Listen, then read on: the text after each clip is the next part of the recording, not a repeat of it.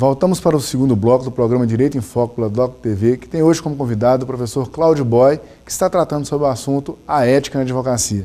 Professor Cláudio, diante dessa, dessa atual conjuntura que a gente tem aí de conflitos, problemas, essa figura do advogado ela acaba também sendo às vezes um pouco conflituosa, né? O próprio nome já fala nessas relações entre o cliente e o advogado. Tem regulamentação para poder tratar dessa situação do advogado? Sim, existe. Nós temos uma lei, que é a Lei 8.906, conhecida como Estatuto da Advocacia. É a lei de 1994 e existe essa regulamentação com relação à, à profissão, né, com, ao profissional do advogado. E é interessante que a própria lei, lei federal, artigo 3 diz que o exercício da advocacia, né, e até o mesmo nome de advogado, é um ato inerente dos inscritos na Ordem dos Advogados do Brasil.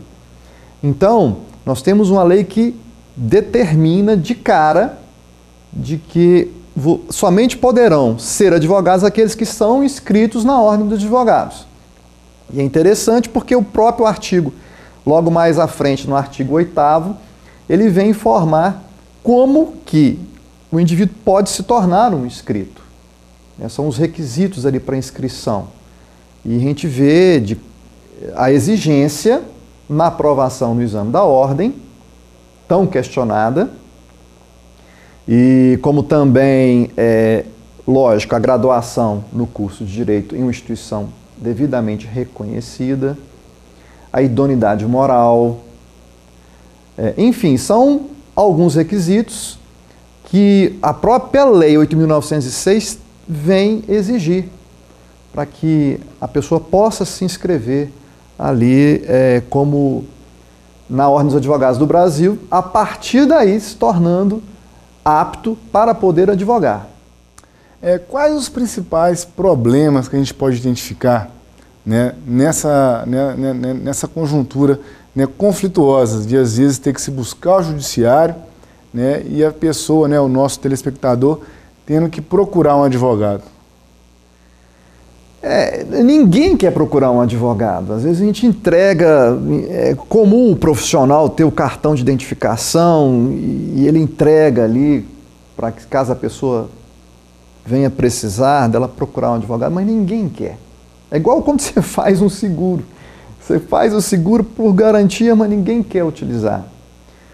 E de fato é, tem sido muito conflituoso essa relação hoje, essa aceitação do jurisdicionado para com o profissional, porque eu sempre falo isso que o profissional, que a advocacia ela é diferente, ela é diferente da, da, da medicina, ela é diferente da odontologia, do médico, do dentista de outros profissionais, porque ela precisa necessariamente para que o, a, o, o, profissional obtenha êxito, ele precisa de outras, de outras pessoas, como por exemplo os serventuários da justiça, é uma necessidade, lógico, de, do magistrado, da presença do, do magistrado, é, enfim, ele vai precisar, para ele obter êxito das provas que o, o, o próprio cliente que vai informar para o advogado as provas que ele tem para poder, em busca da pretensão é, do seu direito.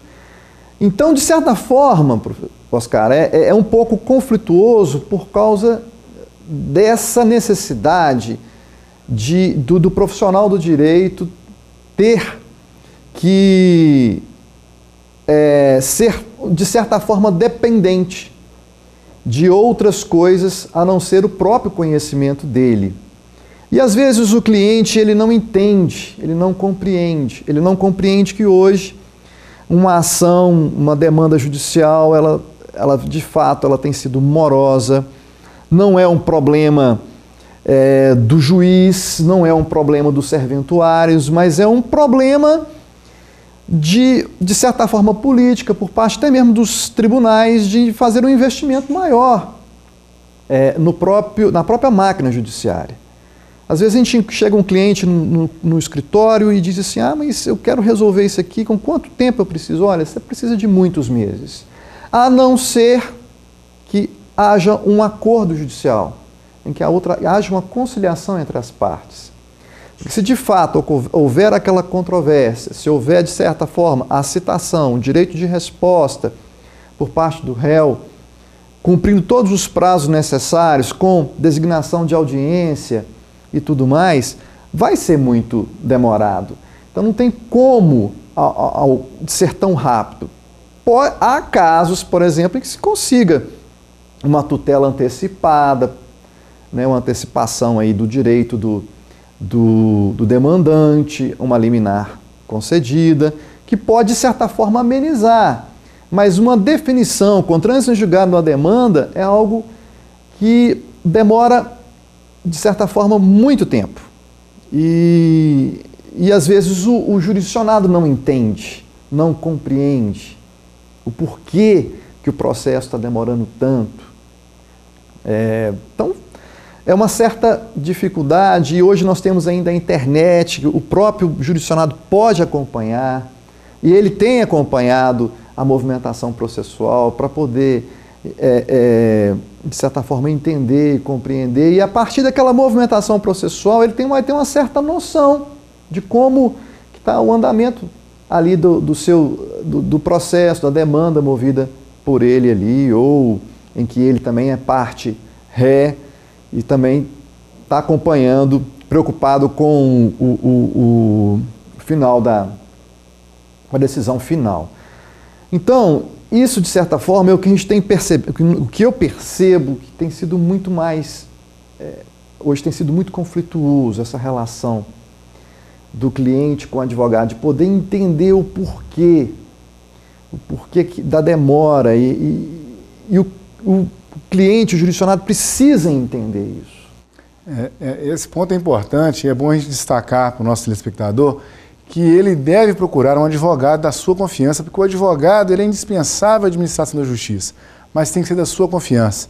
Né? Tem que cobrar na né, elaboração de um contrato para que ele saiba tudo o que vai acontecer e ajudar o seu advogado né, na, na propositura das provas para que se possa realmente alcançar o resultado esperado. Não é isso, professor? É.